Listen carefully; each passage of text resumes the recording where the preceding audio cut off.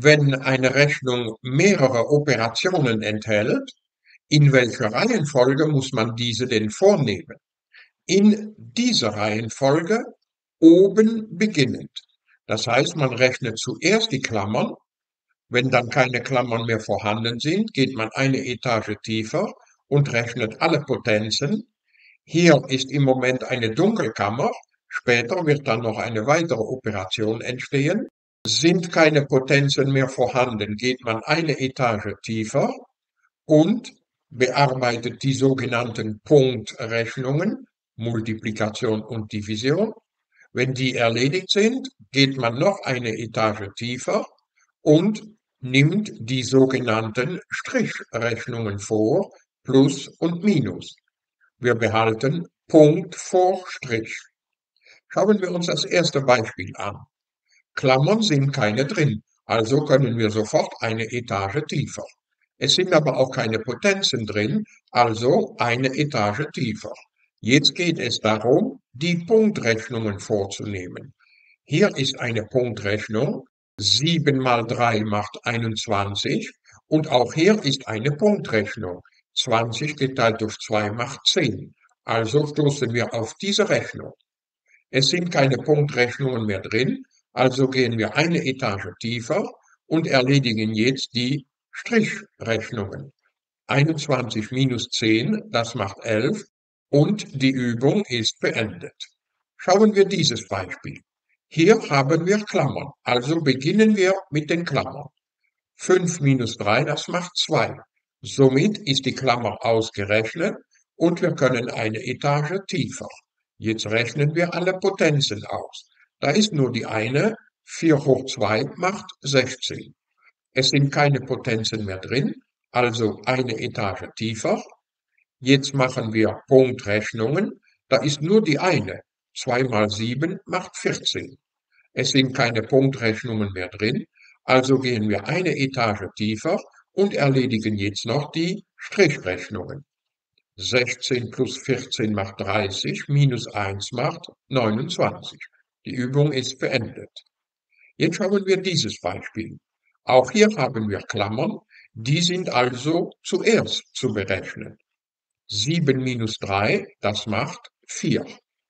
Es sind keine Klammern mehr drin, also gehen wir eine Etage tiefer und berechnen alle Potenzen.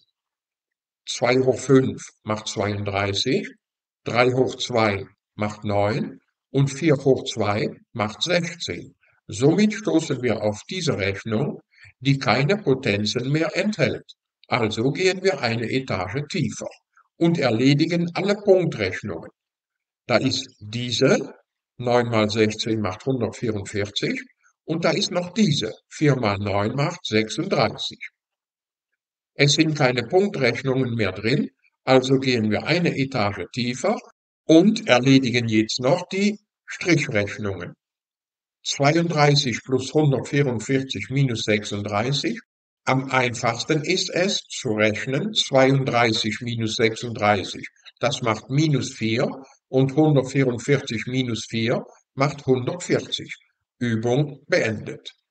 Nächstes Beispiel. Hier haben wir dicke Klammern und innerhalb dieser dicken Klammern kommen mehrere Operationen vor.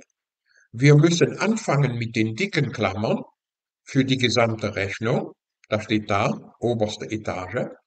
Aber innerhalb dieser dicken Klammern kommen mehrere Operationen vor, also in dieser Rechnung werden wir genau dieselbe Reihenfolge respektieren. Das heißt, im Innern dieser dicken Klammern rechnen wir zuerst die Klammern. 9 minus 2, das macht 7. Wir gehen jetzt eine Etage tiefer und berechnen die Potenzen. Da ist nur diese eine, 2 hoch 3, das macht 8. Jetzt gehen wir eine Etage tiefer und erledigen die Punktrechnungen. Da ist nur diese, 7 mal 3, das macht 21. Jetzt noch eine Etage tiefer. Wir erledigen die Strichrechnungen. 21 minus 8, das macht 13. Also diese dicken Klammern sind jetzt ausgerechnet worden und jetzt kommen wir zurück auf die gesamte Rechnung. in der keine Klammern mehr sind. Also gehen wir eine Etage tiefer und berechnen jetzt die Potenzen. Da ist nur diese eine, 3 hoch 2 macht 9. Jetzt gehen wir noch eine Etage tiefer und erledigen die Punktrechnungen. Wir haben hier 4 mal 3, das macht 12, und hier 2 mal 13, das macht 26. Somit können wir noch eine Etage tiefer und letztendlich bleiben nur noch die Strichrechnungen zu machen. Wir rechnen also 8 plus 12 plus 9 plus 26 und das macht 55. Somit ist diese Übung ebenfalls beendet.